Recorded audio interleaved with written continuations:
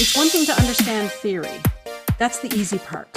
It's another thing to look at someone else's work and identify the, the aspects of storytelling. But it's an entirely different skill to be able to apply it. So, and that's the whole goal here. We're all writers. So, the story theory, as fun as it is for us story nerds to swim around in story theory all day and nerd out about all this, as fun as that is, the goal here is to apply it to our manuscripts so that we create stories our readers will love. That's the whole goal here. So, if we can't apply it, it's, it's a make work project, it's a hobby, it's a something, but it's not a work skill.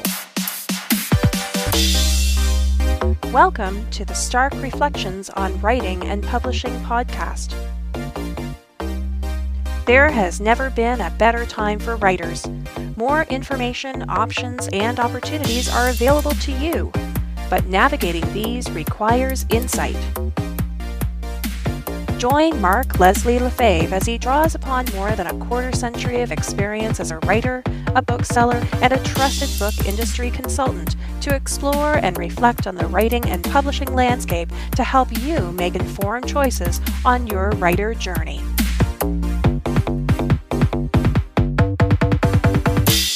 Hello, Reflectives, and welcome to episode 271 of the Stark Reflections podcast. This is your host, Mark Leslie Lefebvre. Today's episode, I have an interview with Valerie Francis and Melanie Hill of the Story Nerd podcast. And I love talking to nerds. I love talking to story nerds. I love talking to book nerds. Come on, I'm just a nerd fan. And these are two brilliantly talented story nerds who I just really enjoy listening to. Now, the Story Nerd podcast demystifies story theory so writers spend less time studying and more time writing. Literary editors and writers Valerie Francis and Melanie Hill analyze a film a week as an example of a storytelling principle. And we have a fantastic discussion. I know you're going to enjoy it. And that's coming up later in this episode. But also, you may remember Valerie, who was a guest on episode 213, putting story theory into practice.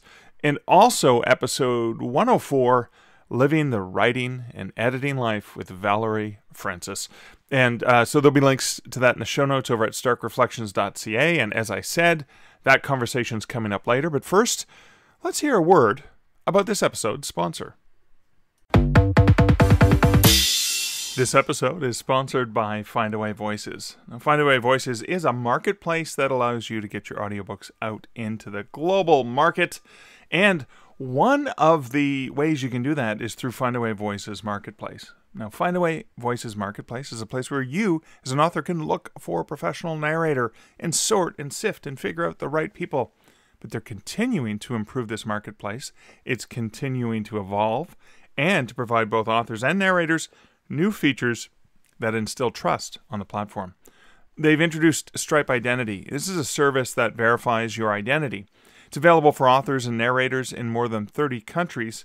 And once verified, Users receive a badge on their profile that indicates their identity has been verified, so you know it's that much safer for you. Now, the Findaway Voices Marketplace also features a review system for both authors and narrators, so after the payment is confirmed on a production, both the authors and the narrators will be asked to complete a review of their production experience with the opposite party. If the project has been mutually canceled by both parties, there's also the opportunity to place a review. Users may respond publicly to a review one time. There's no back and forth response feature.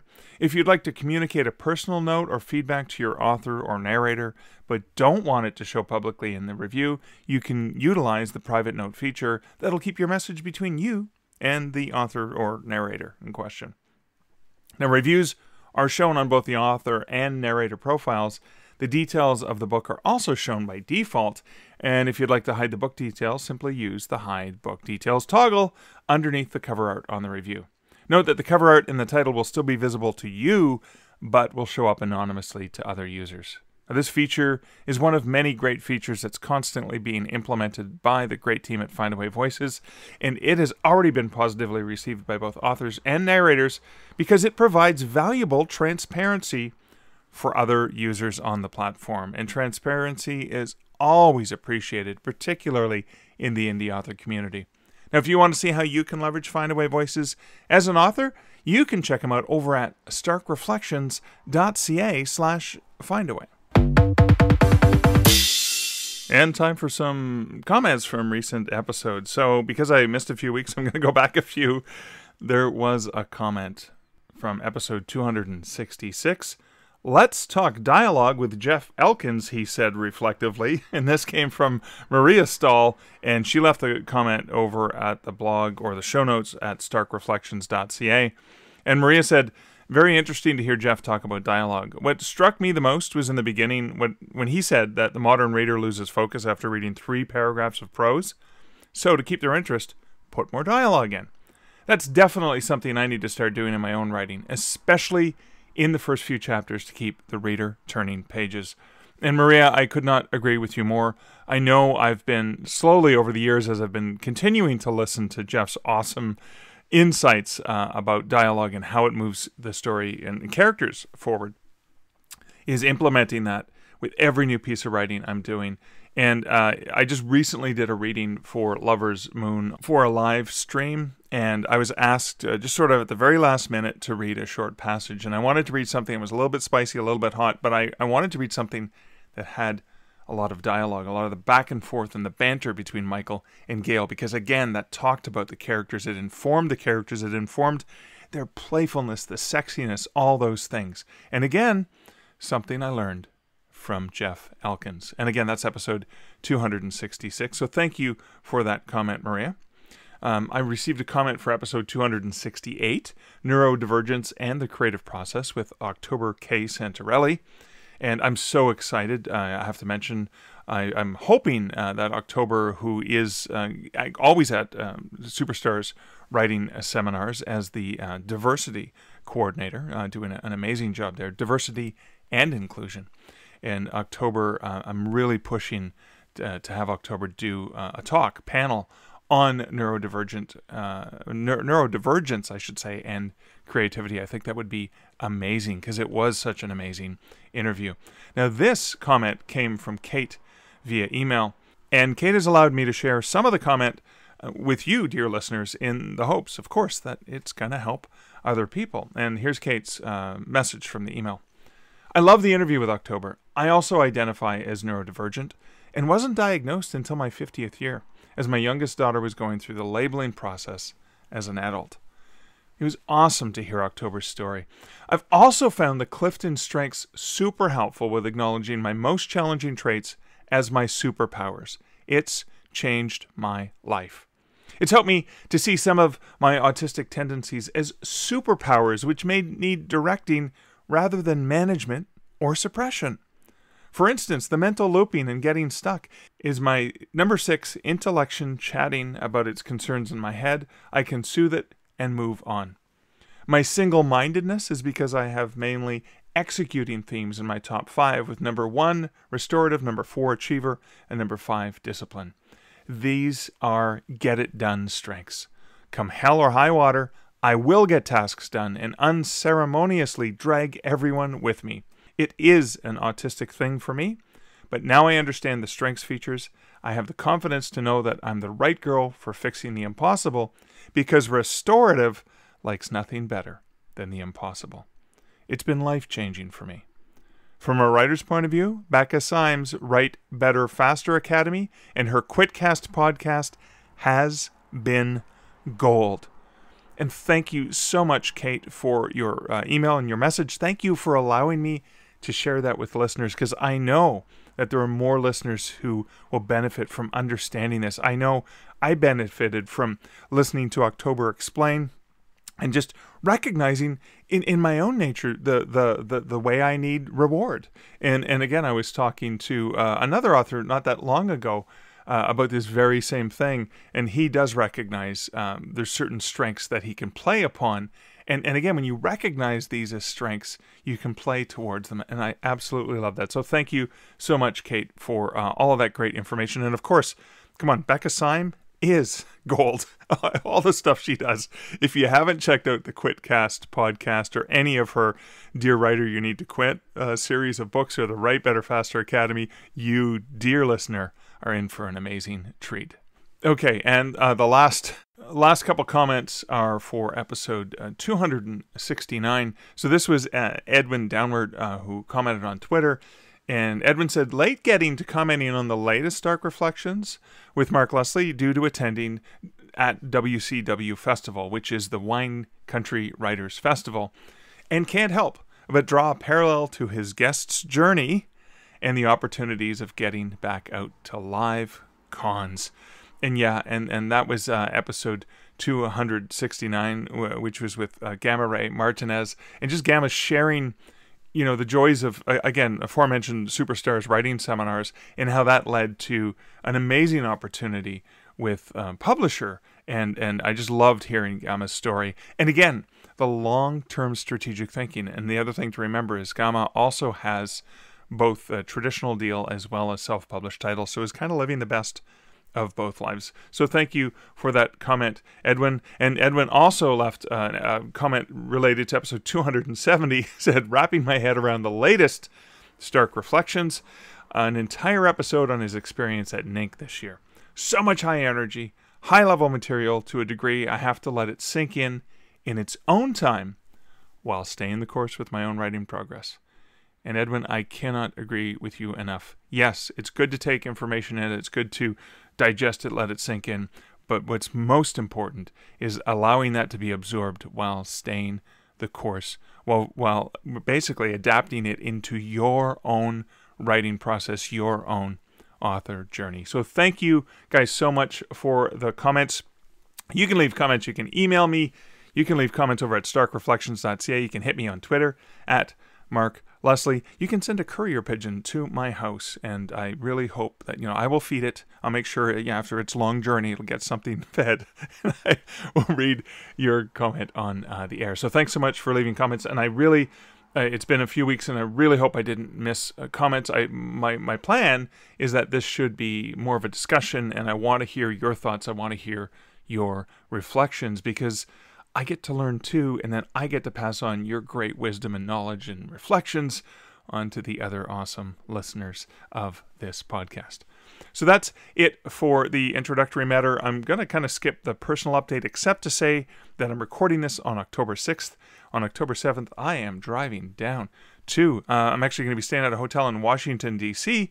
And then on Saturday early, I'm going to set up at a conference, the Write Women's Festival um, in Maryland, which is just across the river, and uh, doing a, a one day thing there. I'm doing a talk on uh, Draft2Digital for writers, introducing Draft2Digital. Draft Digital is sponsoring this conference. We got great bags. I can't wait to see them in person because I haven't. Jim shipped them directly uh, to them.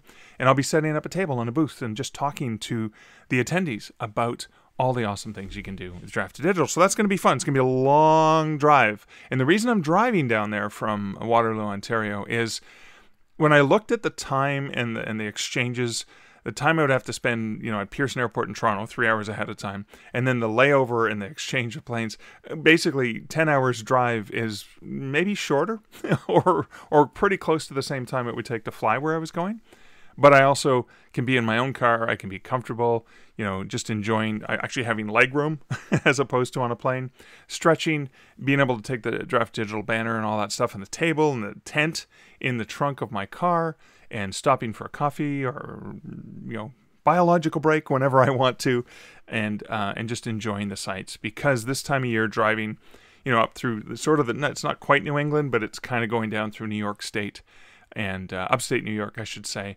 and uh, and, and a bit of Pittsburgh.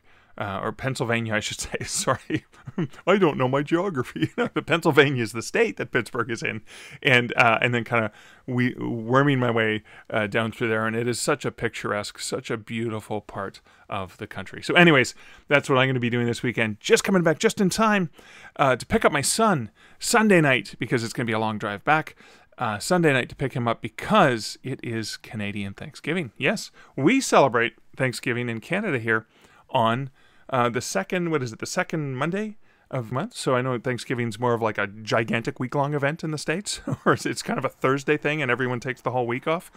Well, in Canada, we sort of get a day off on Monday. Uh, so Thanksgiving Monday is when we celebrate. But the most exciting thing about that, see, this was going to be a brief personal update. Oh, well, too bad. It's longer the most exciting thing is that on Monday, uh, I should say Tuesday, uh, because Monday's a holiday, and Tuesday is, is the typical release day in traditional publishing. On a Tuesday, October 11th, I am releasing the 35th anniversary edition, celebration 35th anniversary of the movie Planes, Trains, and Automobiles in the Canadian Mounted. And I've got the ebook is uh, already been up for pre-order. I I'm not going to push publish uh, directly on Amazon until really really late on the 10th. Uh, so it goes live on the 11th, which is the release date, the Tuesday. But I did see an author proof copy from Amazon, and oh my god, it's a gorgeous little mass market paperback. I'm doing it on IngramSpark because I'm using um, is it 4.25 by 7, which is the mass market size. It's not a mass market; it's a mass market sized paperback because it's not mass produced. It's being printed on demand. But oh my God, it looks gorgeous! And I compared it to a, an actual replica of the Canadian Mounted, and uh, and I'm pretty I'm pretty excited about this book. I I love John Hughes films. I love John Candy. I love the movie Planes, Trains, and Automobiles, and I can't wait. My son's gonna be with me at Thanksgiving, and we can watch it, and we can make the girls watch it again. Um, some of them may not have, have seen it. I know I forced Liz to watch it several times, but um, some of her daughters have not seen it, so I have to right that wrong. Uh, and I'll force everyone who's with us uh, to watch and enjoy the movie. Now, I've watched it dozens of times recently, or clips of it over and over and over again, uh, it, for looking for bloopers and, and, and little things and, and, and catching them. Because in the book, when I mentioned the blooper, I actually mentioned um, specifically the timeline where, where it happened. So I was constantly watching the same scenes over and over. Like when Owen, you know, when Owen uh, meets them and picks them up at the, the, the Braidwood Inn in Wichita. Uh, and that's uh, the actor played by Dylan Baker, and that's the guy who snorts and, and plays with his hat and spits in his hand and then shakes uh, Neil Page's hand. Anyways, anyways, enough. Uh, I'm just so excited that that's coming out, and it's coming out uh, in time for Canadian Thanksgiving. But of course, uh, what I imagine the big push will be is the American Thanksgiving. And uh, again, I'm so excited that it's finally finally coming out. So that's it for my really brief, you know, I said, you know, very, very, very brief personal update. Why don't we get in actually, you know what? Hey, hang on. I mentioned uh, planes, trains, and automobiles, and I'm sure Valerie and uh, Melanie are probably listening to this. I'm wondering if they're ever going to do planes, trains, and automobiles uh, in in in their podcast because I love the way they analyze movies. I love the way they break them down. Really, really great for storytelling. I'd love to see what they do with that movie. So I'm begging you, please, please, you guys do that, do that. Um, okay, that's it uh, for the for the introductory uh, stuff, let's get on to my wonderful conversation with Valerie and Melanie of Story Nerd Podcast. Mel, Val, welcome to the Stark Reflections podcast. Thank you for having us, Mark. Yes, thank you. It's wonderful to be here. And we're here from three different time zones two in Canada, one in Australia. This is so exciting. I'm, I'm glad that we were able to make this time together. Well, well you know what? It, this is going to happen a lot because we're different time zones, right? There's a bit of a delay. well, it took what was it, two months to get a slot that worked for all three of us, but here we are. Yes, and and I feel it's funny because I always feel like I'm when I'm especially when I'm talking to people in the states or in North America, I'm coming to you from the future, so I feel very science fictiony when I when I join, especially when we do the podcast, I feel like I'm I'm already where I've been, and it's just funny. but you are. You're you're 12, 14 hours ahead of us. Where well, you're not as far ahead uh, from uh, Valerie than you are from me, but like it's wow, it's like a half day, right? Yes, yeah, that's right. What's so I'm on Friday like? morning. It's well, so far, looking out the window, it's lovely. oh, great. I know what to look forward to. This is very exciting. I, am always jealous. You guys get to bring in the new year ahead of us. Yes. Like during Y2K, we realized the world didn't end in Australia. So we thought we'd be okay when it all happened here. That's really your test your, your test crash dummies when it came to the well i was I, I, worked in it at the time and and honestly we were worried that some of the computer systems were like i, I was working for chapters indigo our a main uh, bookseller here for the you know uh, the databases and we weren't sure if things were going to stop so we were all on call New Year's Eve, 1999, and it was kind of like so we're watching to see what the reports are. How are the systems working in Australia? Everything okay? we'll have that again in 2050, by the way, because most most of the fixes they didn't actually fix the system. They just made the systems assume that anything uh, less than uh, four, so it's four nine, they assumed 19, or, or if it was Oh, greater than right. four nine, they assumed 19, and if it was less than four nine, they assumed 20. So once we get to 2050, we're gonna have the Y2K problem again. Oh boy. It's okay. We'll all be in the metaverse then. We won't Yeah, that's notice. and we'll all die because all the all the zeros. But but but we're not here to talk about technology time zones. We're here to talk about story and story nerds in particular. I, I want to start. So, um, Mel, I'm going to start with you since you're in the earliest time zone. Well, your background as as as a writer and and and how you got into editing and and your passion for storytelling and obviously helping others with that. Can you give me give me your superhero origin story there? Yeah, sure. So I suppose my superhero origin story comes from poetry. So I've always been a bit of a, a poet, and from a very young age, um, I wrote poetry and wrote down ideas. And I've I never kept a diary, but I always wrote poems. And so it's and it was never for anything other than just jotting things down and the joy of actually playing with words or getting things out of my head and down onto a, a piece of paper. And so that's really where writing started for me. And I love reading poetry as well. So, especially poetry that has, it's going to sound really silly, but poetry that has paintings or pictures associated with it. My first book that I bought myself was actually a poetry book with famous paintings next to it. And I think I bought that for myself when I was about 13 years old. And so I've always what really was it? That sounds fascinating. Do you remember what, what it was called?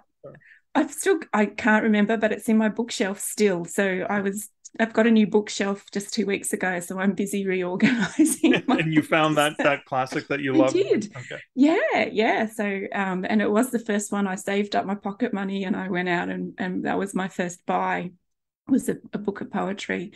So and I collect the books of poetry and my favorite poet would have to be Tennyson. So but that kind of was always sat there with me. And then when I went to university, I did a um a bachelor of arts in English literature, and I went to a military academy.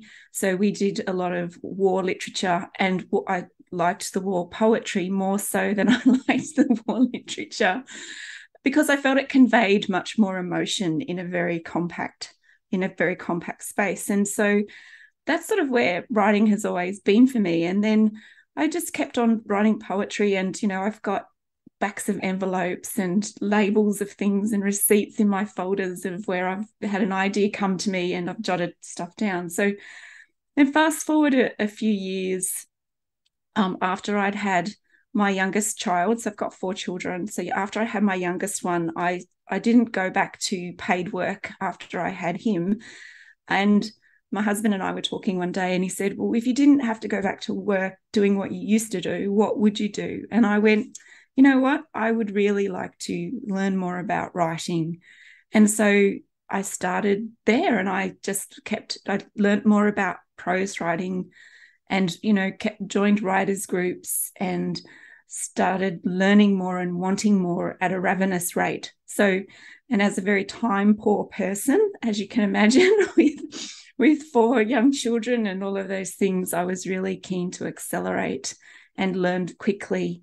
Um, and that's how I kind of came into writing more fiction. Especially, I really love children's fiction. I think there's a real art to writing books that engage children and um, and children from all ages, um, even adult children, because I think they have to be in some ways better stories than a lot of the um, the adult marketing or adult market, and so that's really interesting for me. So that's how I sort of came into writing, and that passion for words, I suppose, is where I started and breaking down words. And you know, even now, I still sometimes do scansion and rhyme things with my with my kids, and and we play word games all the time. So yeah, that's where it came from for me.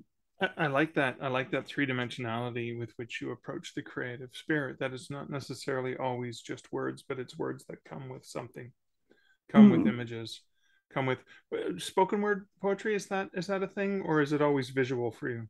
Oh, so I would never get up and speak. but I am in awe of people who. And who it says the do that. podcaster. yes, that's right. well, it's it's very different. So because because my poetry is never really for it, it's it was really and always has been just for me. Although I have published some pieces, it is it is super personal. So it's it's just something.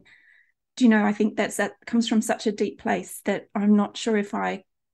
There's pieces that I would probably speak, but I would not go up and publish a whole body of work because I write. That's just for me the joy of writing. So I'm not a slam poet, and I don't think I've got the voice for it either. So that's my out. uh, that's that's cool. I'm, I want to get into how you guys met, uh, but first I want to I want to get Valerie's Canadian superhero backstory in terms of your launch into into the writing sphere. Like most people uh, in this space, most of your listeners and both of you, I've always been writing. My whole life, I've been writing. And it got to the point where my day job was just getting on my nerves so much that I said, you know, when I was little, I never ever said, when I grow up, I want to be a bureaucrat. I wanted to Isn't be a a musician. dream of all kids? Uh, no, not this kid. I was a musician and I love being a musician and I'm getting back into my music now. And I was a writer. Uh, and now that my nest is emptied out, I'm full steam ahead on both. And, you know, when I was about 40 ish, that's when I decided, all right, let's get serious now. Let's see what you can actually do, Francis. So in 2015, I I wrote my first book, which was written entirely on instinct. It's a middle grade fantasy. And then I went and in 2016 published my second book, which is an open door romance called Masquerade. And it was while I was writing that that I started to really understand how stories work. So I, I went ahead and published Masquerade. And for the last few years, I've been working on another novel called Immortal. And I, Melanie and I were just talking about this this morning, actually, or my morning, last night for her, this morning for me. I, I, I made the, I don't know if it's a mistake, but I, I, I decided to add up how many words I have written for Immortal and discarded. I am now at a half a million.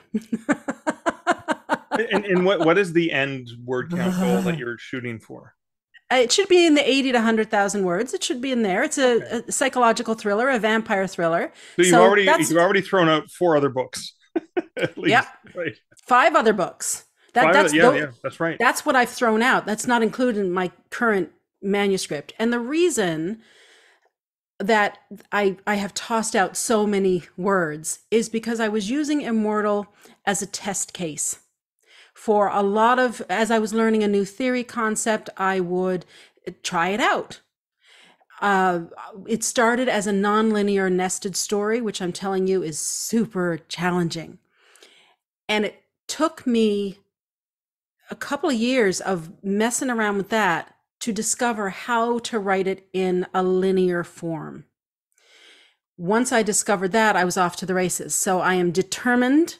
Melanie and I are both determined to finish our current books by the end of 2022, and we are full steam ahead, both of us. So that's how I started. And in 2017, I, uh, uh, you know, I became a, a literary editor as well. So I also now work with writers. And you asked, you said, I want to get to know, I want to ask how you two met. Well, that's how we met. Melanie was one of my clients. oh, oh, really? Oh, cool. Yeah, so that's What how we what- met. Can, I ask what the project was?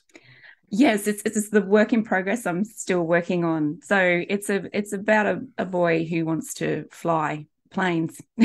Because And, and this is this is the work that you promise us, and it's here on the Stark Reflections podcast that you promise us will be ready in 2023. Yes, yes. Drum roll, please.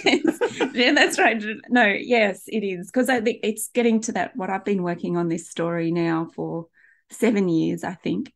Um, and you know, for me, it's a time. It's it's usually a time thing. But yes, and there just comes a time when, if I after this version, I've just got to get on and do something else because ideas keep popping into my head, and I have to crowd. I have to say, not now, not now, or write them down. And I just need to get this story, which I really want to tell, out and finished. Um, yeah, because it it it's a you know I, I'm I've been in aviation for a long time and I you know I love it and I want to share that the joy of of the of aviation um, which I think comes through in this story. So it's probably more for me than anybody else. that honestly, that that maybe is the perfect the perfect person that you're writing it for because it's very focused, very narrow, and and I think that's really important when you think about that work.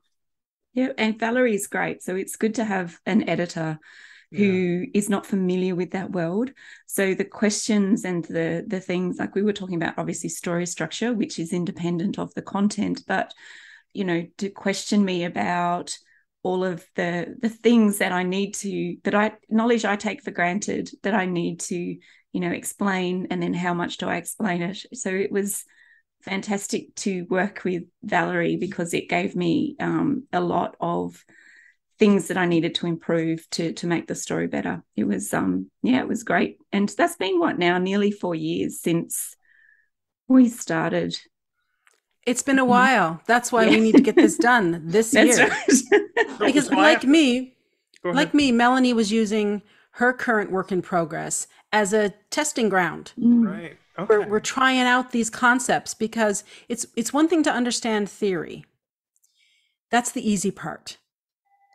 It's another thing to look at someone else's work and identify the the aspects of storytelling.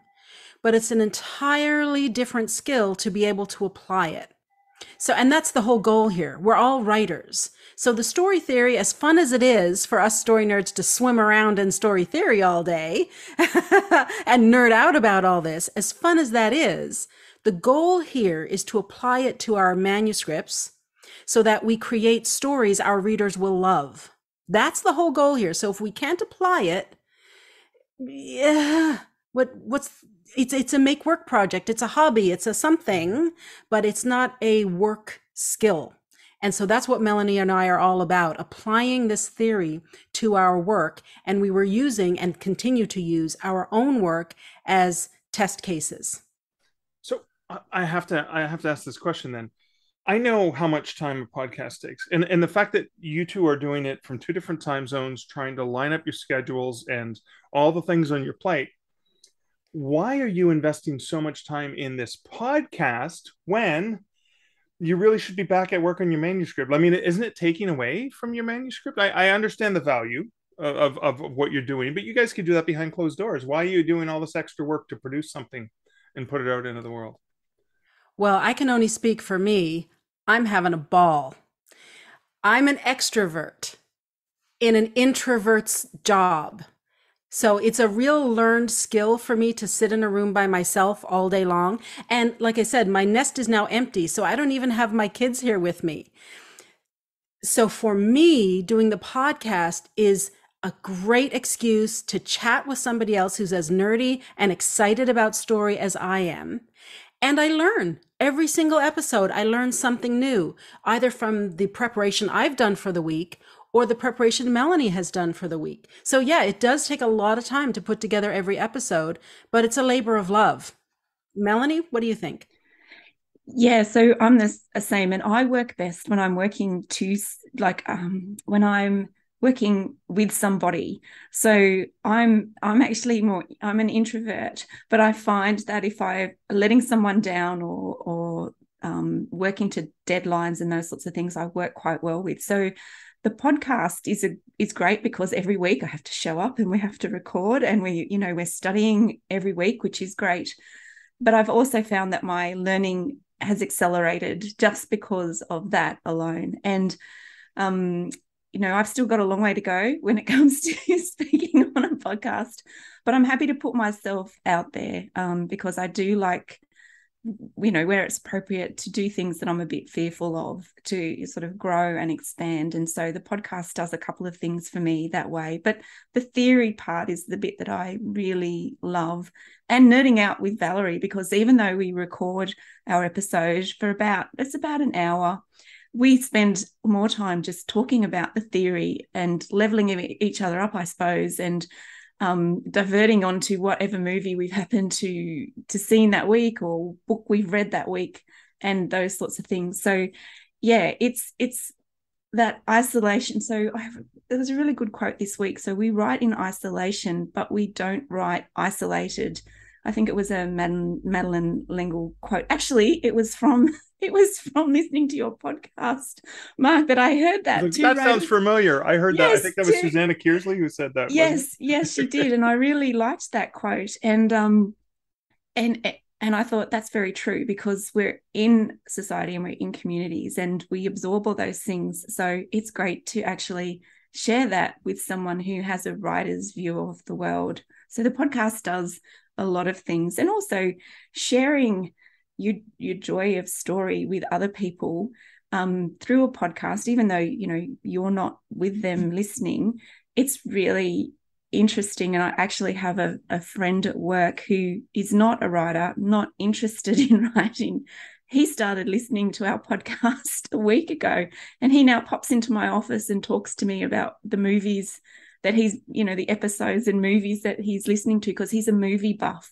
So it's just opened up that door to have more story conversations with other people. I love that. I, and i want to get into that because when, when i've heard you guys say story theory and and, and stuff like that i get intimidated. Uh, I, i'm I'm a lazy person. I don't want to have to work that hard. I just want to write stories and and you know, and it just sounds like, oh, this sounds like going back to school and doing academia. And is it isn't it complicated and frustrating and all this extra work and it's gonna make me blood bleed and sweat all over into the page? Like is it like that? It doesn't sound no, like it the way you guys no, are talking. No, Mark, we're watching movies. We're talking about movies. We're reading novels and talking about novels. This is not dry stuff. This is a hoot and a half.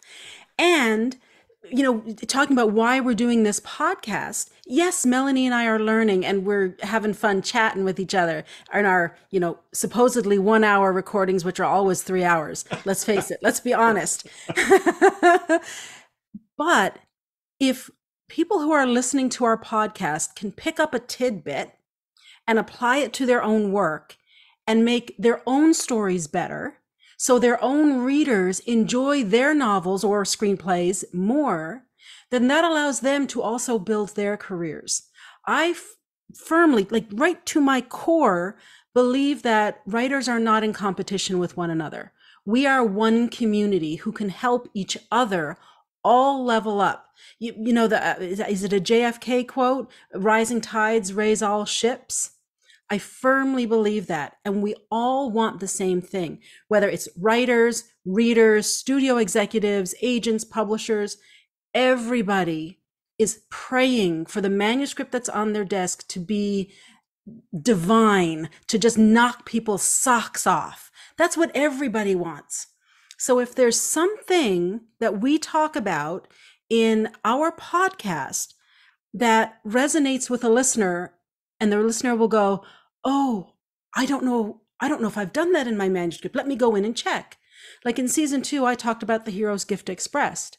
And what was really interesting to me was that the movies that we instinctively enjoyed the most were the ones where the hero's gift was expressed most effectively and where the forces of antagonism which was melanie's topic uh, in season two where that was developed most effectively.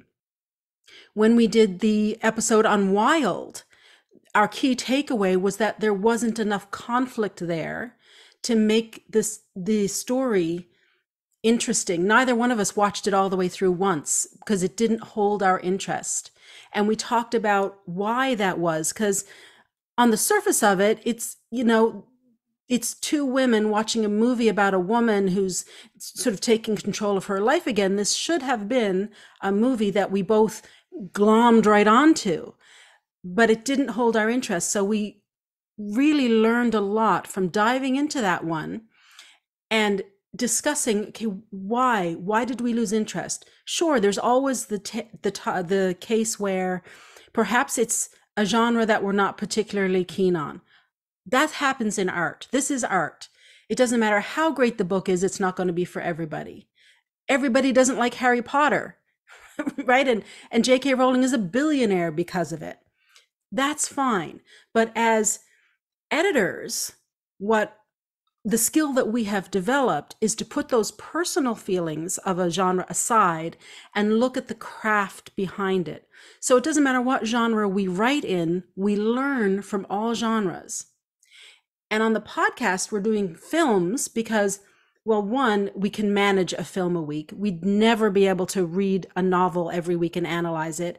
And our listeners wouldn't be able to do that and keep up with us. But two, at a high level, every story, regardless of medium, has the same structure. So the concepts that we're talking about on the podcast that we relate to film apply equally to novels. So the hero's gift expressed, for example, sure, I'm talking about it in uh, Legally Blonde, which is one of our most popular episodes, in The Matrix, in I can't even remember the the movies we did last semester. All of those lessons every novelist listening to the podcast can take back to their writing rooms with them and look at their own manuscript. And what we do on the show is we do 10 movies for 10 weeks, right? That's a season. And on the 11th week, we do a roundup of all the things that we learned. And we sort of summarize the main points of here's what the concept is, here's how it works well, here's what, when it doesn't work well, here's the effect all that kind of stuff. So every 11th episode is a roundup. So if people are stuck for time, because a lot of writers like Melanie have young kids, still have a full time job, all that kind of stuff, they can jump into those best advice episodes and sort of get the highlights of what the concept is all about.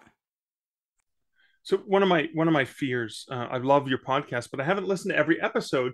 Unlike other podcasts where I just listen to them in order, I purposely go, nope, can't listen to that one. I don't want any spoilers because I want to have seen the movie, and if I've seen the movie, maybe rewatch it so that when I, I, I just remember it was early on. I, I think I was out weeding. It might have been the spring. Was it the spring or was it was I shoveling? I, I just remember I was outside. I remember the sidewalk for some reason. So I don't know if I was sitting on the sidewalk weeding stuff from the garden or if I was shoveling. But I remember listening to you guys talking about Turning Red, uh, animated uh, Canadian, or you know, with a lot of uh, all woman power, uh, you know, lead team for, for for that. And I remember having just saw the movie, so excited you guys were talking about it, and then going, "Oh my god, they didn't love it as much as I did." so, but but I still I still got a lot of value out of it. So that was a that was a fascinating. But so that sometimes happens, right? Because it, you're not just looking at the movie from uh, an enjoyment standpoint you're actually looking at it through a, a, a writer or an editor's filter is that is that kind of how you approach it yeah and this is this is this comment comes up a lot actually so so let me have my two cents and then mel i'll hand the mic over to you i'm very greedy with the mic sorry this is the extrovert in me coming pushier. out canadians are a lot pushier than we realized right and listen, this is the extrovert in me, and I'm a performer by nature. So sorry. Anyway, this this Mark, you're right. This is a really common comment, but because what we're doing here is learning how to look at the craft. One of the things that I always say, and I, know Melanie says it as well, is once you make that decision to be a professional writer, you have to learn to consume stories actively Sure, you can watch the movie or read the book as an audience member and enjoy it thoroughly. No problem at all.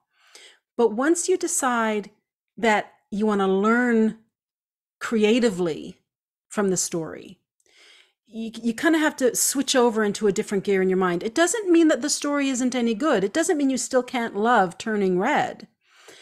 But we're trying to learn the craft. Like what was our gut reaction? Because that's how we start. as an audience member, what's our gut reaction to this story? Like Wild, I turned it off. And I thought, I got to come back. And I, I know I have to watch it. And I know I'll have to watch it two or three times because I watch every movie that we do definitely twice, usually three times, sometimes four times, just in preparation for one episode. So finishing Wild is something I had to do. It was part of my job. I mean, you know, it's a pretty nice job, but it was still part of my job. But when I finished watching it, I had to sit back and think, okay, where did I turn it off? What was I thinking at that point? What was I feeling at that point? Why was I thinking that and feeling that? Was I confused? Why am I confused? Uh, am I just, did I catch myself, you know, picking up my phone and checking messages? Why didn't it hold my attention? So, this is, I mean, this is the truth about storytelling. This is what we do. We're writers, we're professionals. As an audience member, you don't need to know. In fact, it's the person who buys your book, it's not their job to know why your book works or doesn't work. Their job is to pay the money, read the book, and if they like it, tell a friend about it. If they don't like it, they get to bring it back. Then, because it's our job to know how to write it. That's the craft. And if you're to if you're to hire anyone to do a job for you, you want to make sure the person knows the job. If you're going to hire a plumber to come in and replace your hot water tank, you want to make sure they know how to change a hot water tank. If you need to hire a lawyer, you're going to want to make sure the lawyer knows the law. so if you're going to pick up a book or you're going to sit down to watch a movie, the audience member needs to know they're in good hands.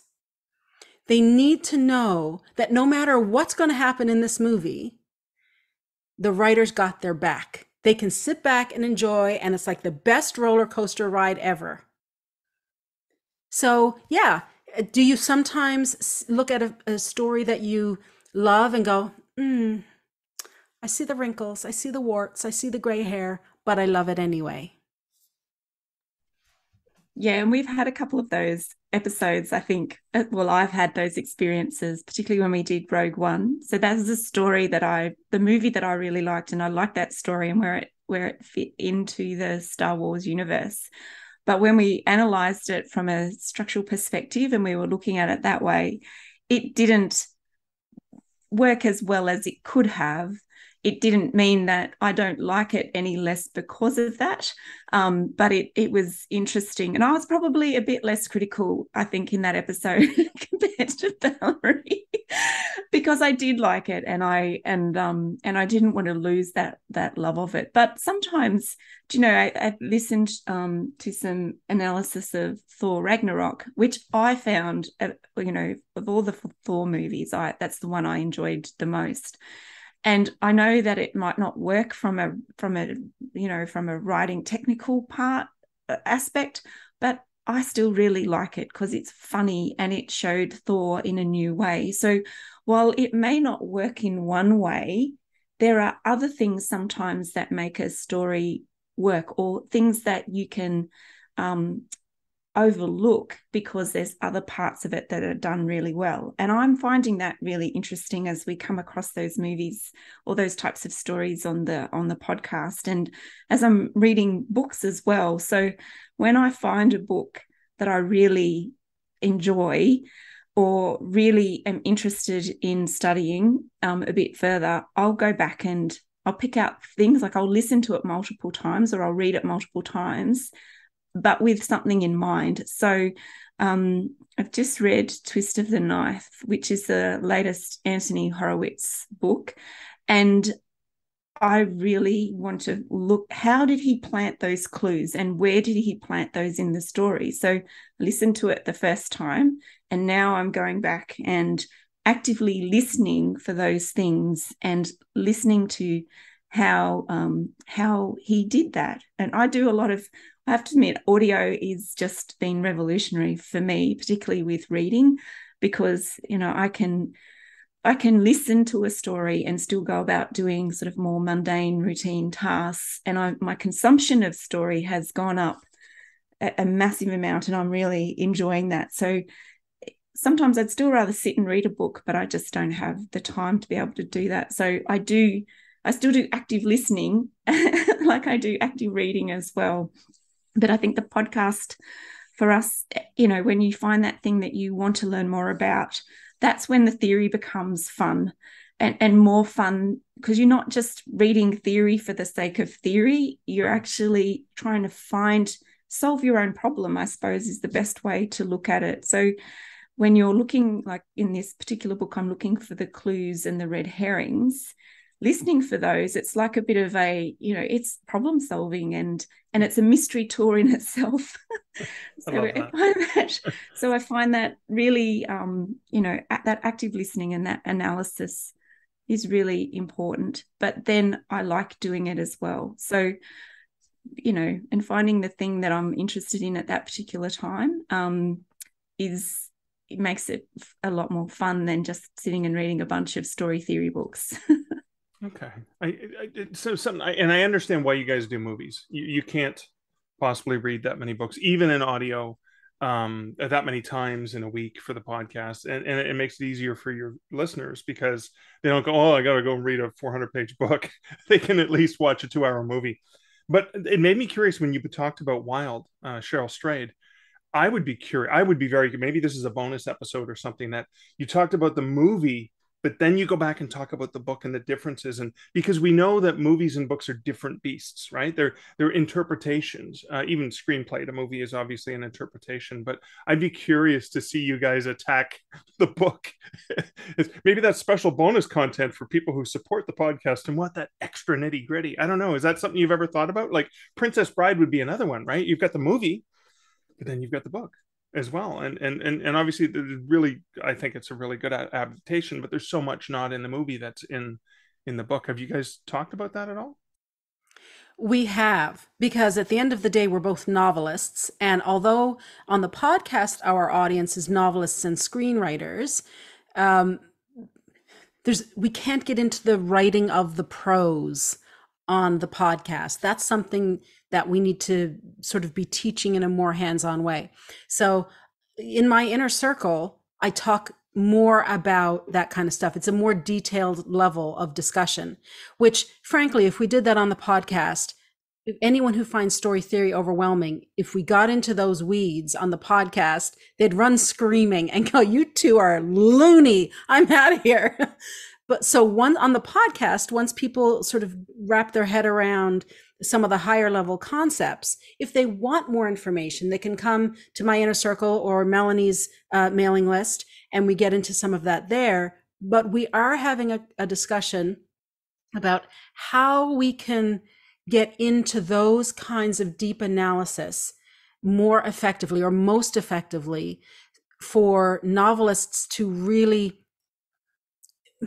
maybe do a side by side comparison. To me, a side by side comparison would be most useful for anyone who is trying to adapt a novel to a screenplay. So, how else can we dive into text and see what is working, what isn't working? In Wild, one of the main problems, I think, is that it's a nonlinear story.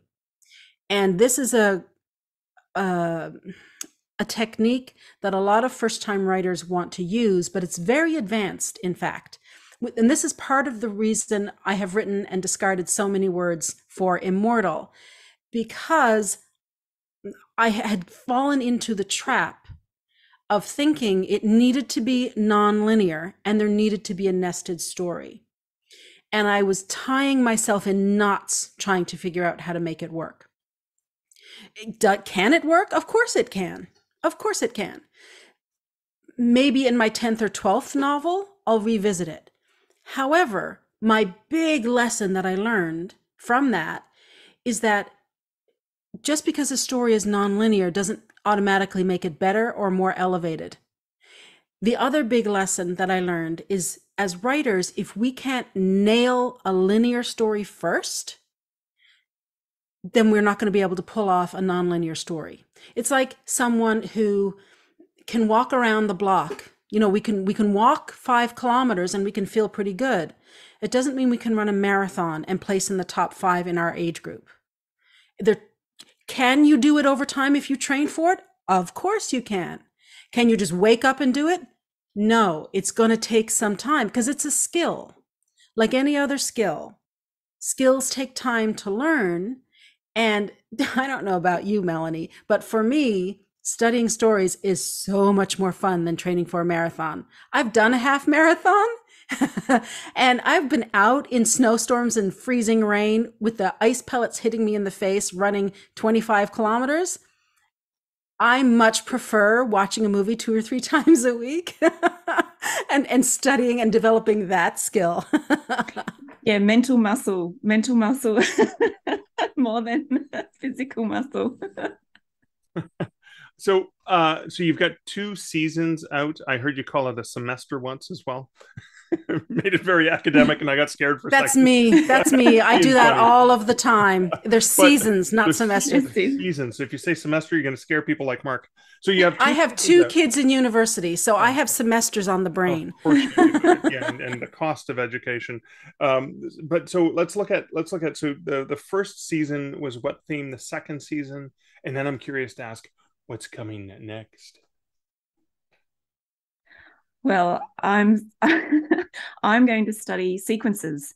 So, looking at how we can use sequences or how sequences are used in stories to help you build your story to that crisis point at the end. So, I think, though, I don't know how yet, I don't yet know how I'm going to explain it to everybody um, so that, you know, people have to come on that journey with me. But I do think that it's a, a useful tool, especially if you're a plotter like me, to make sure that your story, when you go to write it, doesn't have saggy bits. But I also think it's a great analytical tool after you have written your story to know what to do um, to to prop up those saggy bits. So that's what I'm that's what I'm going to do for season three. Cool, I love that. And season two was the hero's gift revealed. Uh, so I did Forces of Antagonism, and Valerie did The Hero's Gift Expressed. Yeah. So you guys split each season then uh, in, into something that you each want to explore? Yeah, we found that works better, I think, this season. So the first season we both did genre because that we both believe that that's you know that everything about a story hangs from from that principle alone. So we both did it, and what we found, while it was good, what we found is that we were both covering a lot of or wanting to talk about similar things. So we decided in season two that it would be all right if we went and studied different areas and one of the interesting things that we discovered through season two, by even studying those two different topics, they are actually linked very closely together because the force of antagonism actually drives the protagonist to use their gift at that crisis moment. So that was not deliberate, but it was just one of those wonderful things that happened as a result of, of studying a different story aspect. So that's why we decided to do different things. And because I think we use the podcast for our own study in our own works in progress, this is, it helps us and then it helps us share that with everybody else. So it, it has sort of a lot of different uses, I suppose, when we focus on different areas. And in season three, I will be studying beginnings and endings. So the first act of a story and the last act of a story, because they're a pair, they're like bookends for the story. The first act is raising questions that are answered in the last act so that they go together. Most writers can write the first act, the beginning, pretty well because they're sort of noodling it about for five years. And then in the middle, they kind of wander and then they end up in some place they don't know. This is really a common thing.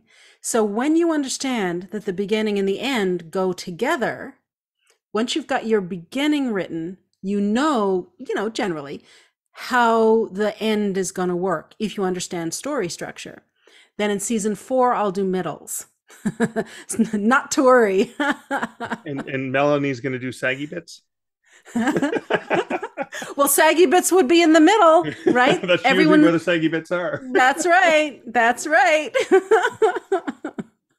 um now I, I i love the interplay the two of you have on the podcast i know listeners are going to love this and and i know that listeners have like you guys have you have uh, started off uh, and, and in a very short time period your listenership has just grown and exploded dramatically what do you equate that to well i think writers are really hungry for the type of knowledge that we're we're offering. It's the way we put it we want to demystify story theory. Because the truth mark is that there's not that many concepts. There hallelujah. When I first started studying story theory, I thought, do you guys remember Don Music from Sesame Street? Did you have Sesame Street, Melanie? Yeah. So Don Music was the mus- musician, and he'd be sitting at his piano and he'd be playing a, a bit of music and he'd make a mistake. And then he'd try it again and he'd make a mistake. And finally, he'd bang his head down on the keyboard and go, I'll never get it. I'll never get it. well, that was kind of like me when I was studying story theory to begin with. I thought, oh, my, my head is going to explode. Like I can feel my brain melting. I am never going to figure this out. But I stuck with it. And it was like when I was learning French for the first time. I would just listen to um, Radio Canada and it was gobbledygook. I couldn't pick out anything. And then one day, all of a sudden, I could understand what they were saying. It was the same thing with story theory. All of a sudden, it was making sense.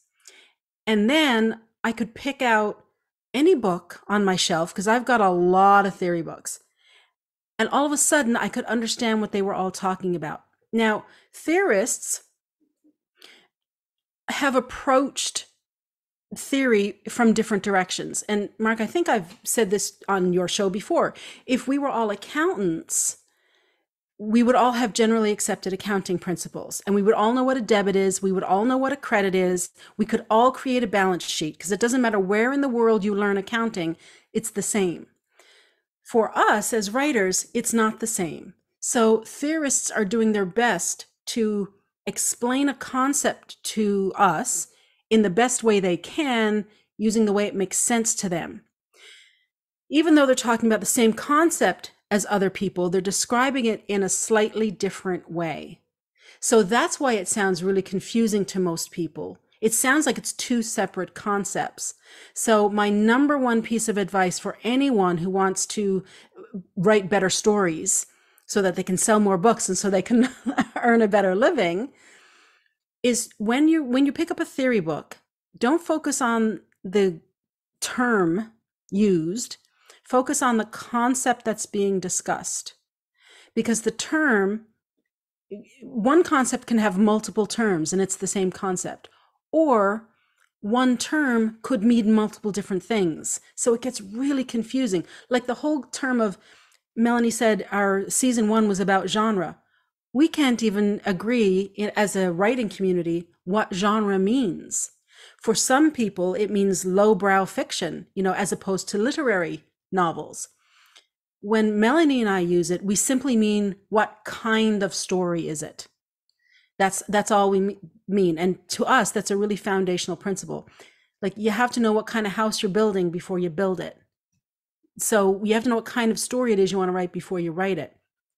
So if as a community we cannot agree on what genre means, then when we get down to more um, difficult to understand and execute concepts like point of view, if you really worry about the terms on all the different points of view, it it makes it 10 times more complicated than it needs to be. And this is the this is the challenge. This is a, one of the reasons we are doing this podcast.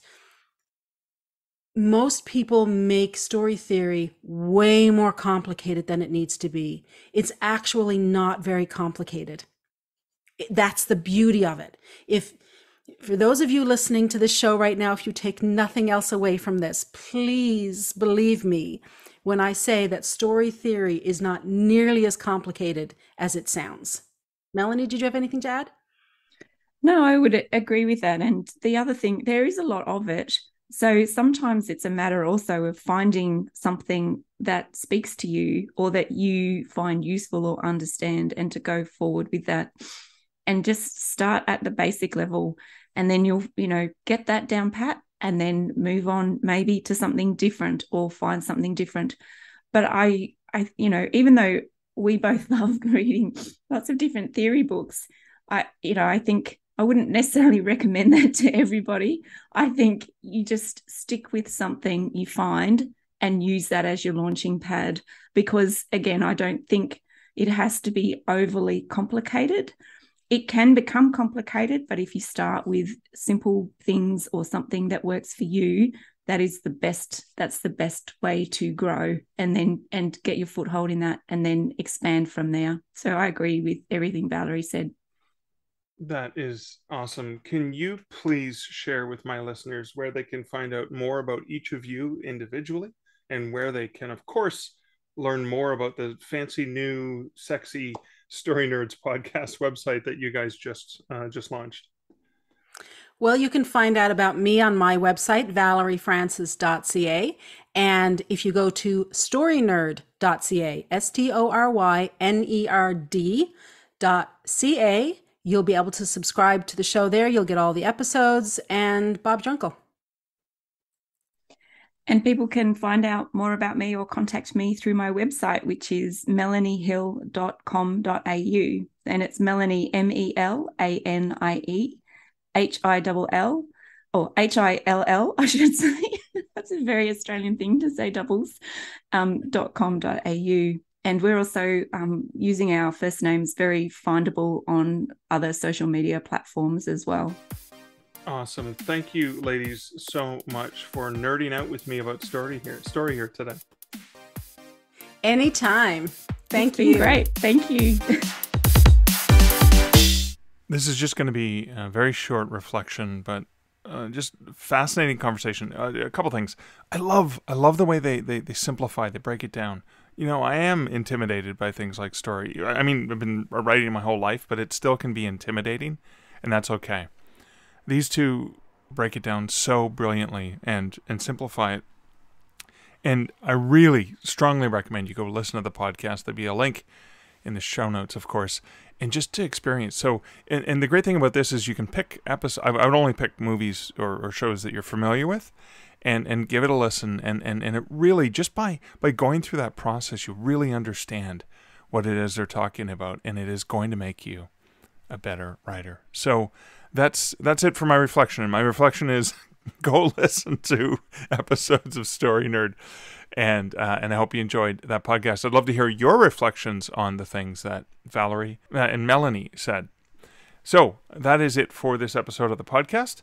I want to thank you all for listening. I want to thank the patrons who support this podcast over at patreon.com slash stark reflections. Always great to have listeners, always great to have you guys supporting the podcast over on Patreon. And if you want to support the podcast, you can also leave a review on the podcatcher of your choice, or better yet, tell a friend that you think would find value in these stark reflections. And so, until next week and next episode, this is Mark Leslie Lefebvre wishing you great writing and good Stark reflections. Thank you for listening to the Stark Reflections podcast. You can find show notes for each episode at starkreflections.ca.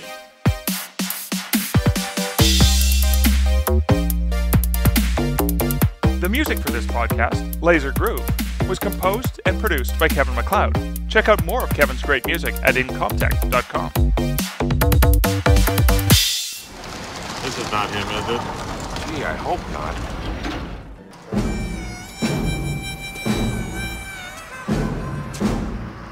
Are you Gus's son? I'm Owen. You the shower curtain fella? Yeah. Yeah, Del Griffith. How are you? This is Neil Page from Chicago. Hi. Pleased to meet you both. I'm to drive you to Wichita to catch a train? Yeah, we'd appreciate it.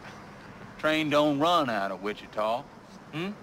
Unless you're a hog or a cattle. People train runs out of Stubbville.